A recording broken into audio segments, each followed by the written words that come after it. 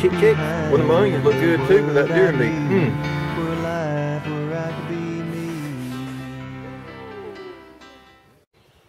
Hey, welcome back to Homegrown Country Homestead. How y'all doing? Well, this morning I'm going to be walking around showing you an update on the garden, show you how it's doing, and also we're going to show you chickens right here. Haven't showed y'all how they've been doing, and uh, they've been uh, doing real good. You can see right here, they're they got real big on me here, and hopefully it won't be just, be just too long. Uh, we'll start getting some eggs from them. Might be another couple months, but uh, just want to show y'all uh, update on these chickens, how they're doing. Here's my rooster right here.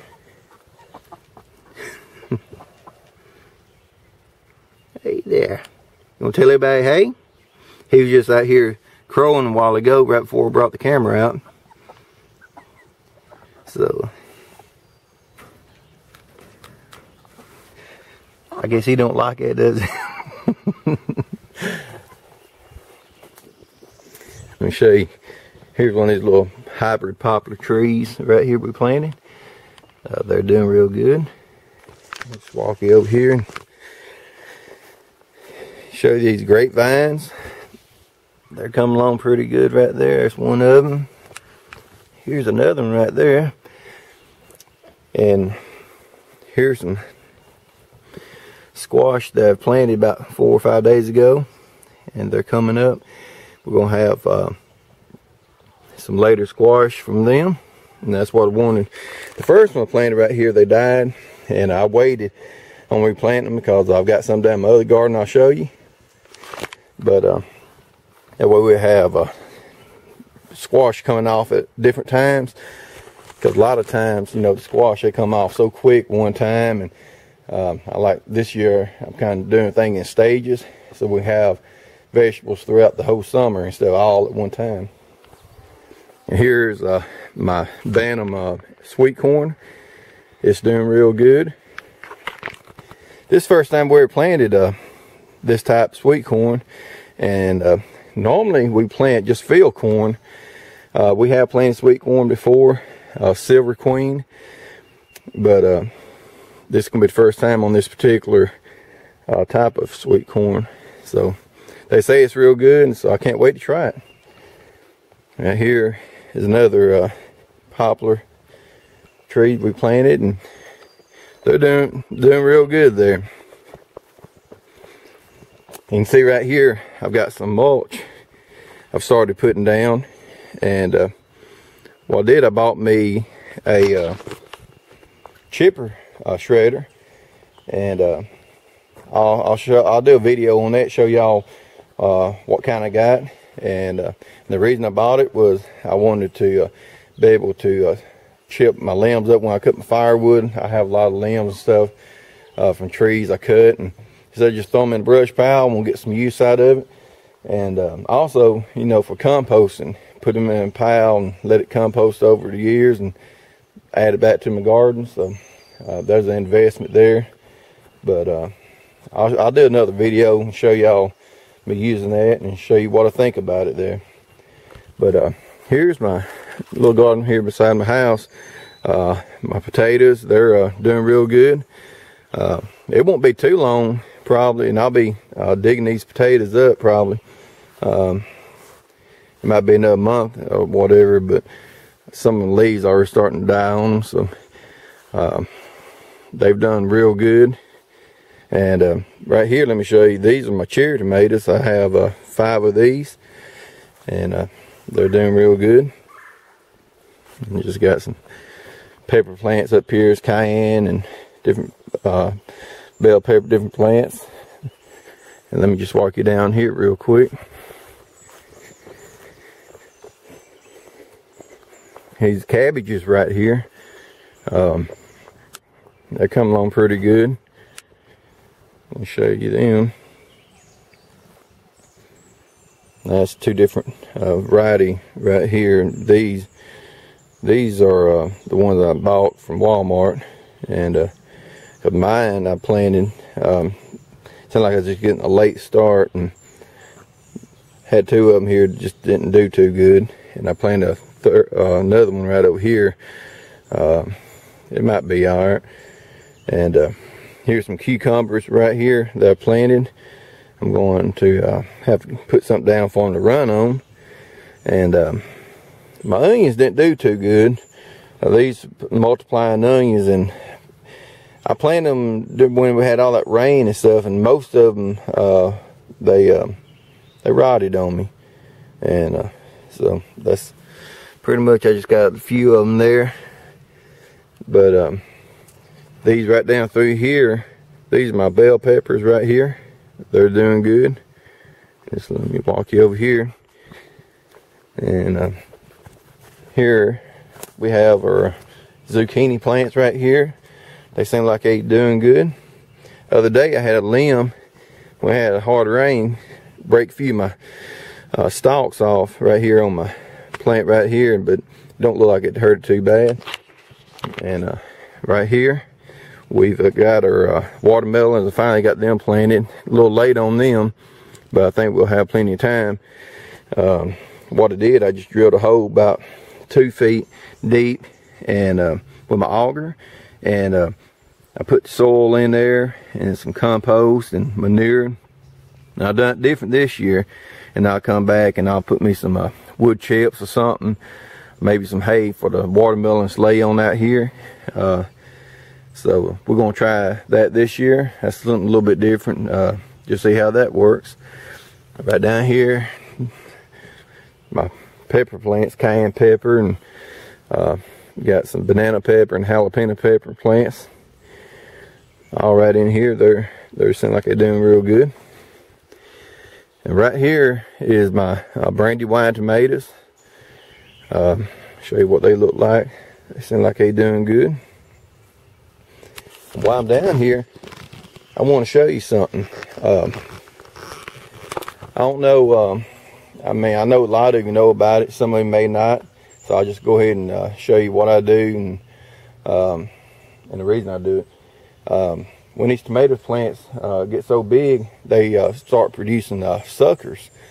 And uh, these suckers, a lot of times you can take them and cut them off and you can replant them. And that's what I'm going to be doing this year. So I can extend my growing season on my tomatoes over in the fall. And uh, on these uh, suckers, it's best cut them off of tomato plants that are indeterminate. you got determinate and indeterminate. And the difference is your indeterminate kind of grows all season long, producing tomatoes and stuff. Where your determinate tomatoes, they kind of uh, produce all at one time. That's my understanding anyway. Um, but these uh, particular ones are indeterminate. And I'm not going to say you can't cut the suckers off of your determinate tomatoes. They may not do as good. Uh, like I say, uh, I would just do the ones that are indeterminate tomatoes. So uh, they always work good to me. I'm going to show you real quick uh, what I do. Ain't nothing hard about it. It's very simple. And instead of having to go out there and buy more tomato plants, um, like I say, this is a cheap way just doing it yourself. It also helps your tomato plant to produce bigger tomatoes. Um, if you leave them on there, you may get more tomatoes, you know, if you know, than uh, if you cut them off. But uh, the reason I'm cutting off just so I can have more tomato plants. That's the only reason uh, I'm doing it. Let me just show you how I do it here. Um, what you want to look for is uh, if you look right here, you see how right in there, this tomato stem right here, it comes down and it comes into a base of a tomato, the stem right here, the plant. So this is your sucker right here. This is what you want to cut right here. And all you do Let's see if I can get this with the camera. Um, I just uh, take it and cut it off right there. And uh, you can see that right there. And uh, what I do, I, am not going to do it just right yet. And I just got some water right here. I'm going to stick it in. Um, but what I do, I take a knife and I scrape the stalk right in here, the stem of the tomato and uh, that kind of uh, helps the uh, kind of helps the uh, roots to go ahead and start uh, coming out on the stalk. and probably like five to ten days, that tomato uh, sucker right there, it'll be ready to put in the ground and plant.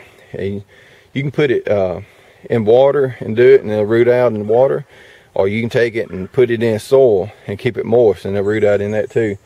Um, but I always like, as soon as I cut that off, I like putting it straight into the water there. Um, it may have some, you know, a little shock from it, you know, cutting it and putting it in there. But um, you just want to make sure, you know, you don't put no sunlight, you know, until everything, you know, takes hold on the sucker right there. It may wilt a little bit, but, you know, it, it'll be all right. But let me go ahead and show you the rest of my garden here. This video may be longer than I thought it would be showing y'all this stuff. But uh, anyway, I know it's been a while since I did an update on my garden. Just want to show you here. Um, this is my um, corn right here. This is my field corn. This is uh, Hickory King uh, field corn. So uh, it's doing real good. I started out with seven rows of corn and uh, between the birds and whatever other else uh, was picking my corn up out of the ground, I was able to replant uh, the little stalks, save a lot of them, and that's when you see out in here some of the shorter corn. That's where I had to uh, put it back down in the ground, so they're, they're a little bit slower growing there, but uh, it's doing real good. I'm gonna wind up having um, a total of well, I got six rows right now, but um, just probably about five. Put them together, five full rows. Um, right here is my squash. They're growing pretty good. And we've been getting a lot of evening showers. And you see it's real wet out here. And you can see how, you know, that rain's been beating down on these uh, plants. Um, but, uh, hey, they, they're doing good. Uh, right here is my Cherokee uh, beans right here. Um, they're starting to run, so I'm going to get me a trellis or a fence up there for them to run on. And also here is some of my cucumbers I got. Um, I'm going to be uh, letting them run on a fence. Normally, I let my um, cucumbers run, uh, just put them in mounds, but I'm doing a little bit different this year uh, in this area here. Uh, I'm just going to run them up a, a, fence there. And right out here is some top pick, top pick uh, peas. This first year I planted them type purple hull. And uh, they seem like they're doing all right. I see some discoloration in, in them there. Um, not really sure if that's uh, just uh, nature of them type beans, peas when they come up or what. But um, uh, my other peas normally don't do that. it could be a little bit too much rain right now, so I have to keep a check on that. Let me just walk you around here real quick. Uh, show you these uh, other tomatoes and beans. Also, right here, my uh, corn right here, what I did the other day, I planted some um, Blue Lake pole beans along a lot of my stalks down through here, up to about this point right in here, and uh, across there. So we're gonna have some um, pole beans, Blue Lake, uh, growing up them stalks there. And here's my uh, bush uh, green beans right here. And uh, the problem I'm having with this, well, ain't no problem. It's just something I'm gonna have to work with. It's the grass in it. Uh, I don't like all this grass, but it's so wet. So this evening I may just try to get in there and try to get some of that grass up with a hoe or my high wheel push plow. Um, what I do normally when it's dry, just take and smother that grass out, pull that dirt up against my beans there. But uh, you can see right there, uh, got a lot of grass in it and I don't like it, but I'm just gonna have to deal with it right now just because it's so wet. Um, here is uh, my Rutger uh, tomatoes. They're doing real good. Um,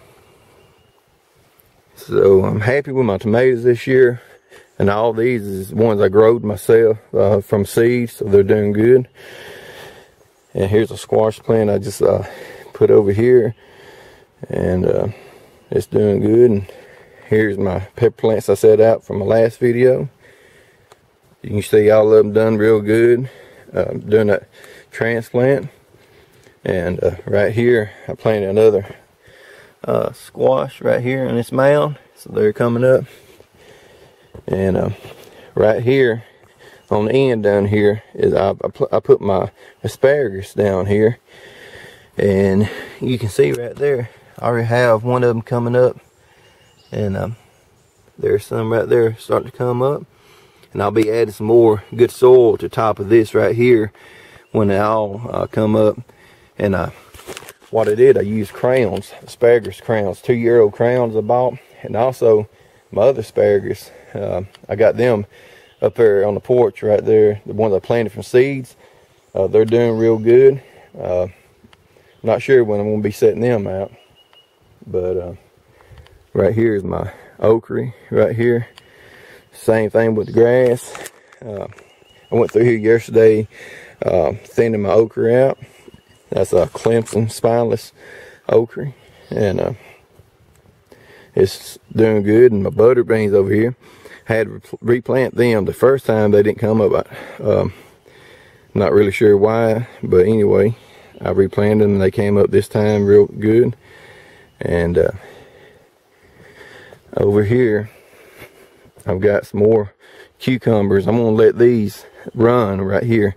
These cucumbers, I'm just going to uh, let these run maybe, but um, seeing how wet it is right in here. I don't know how.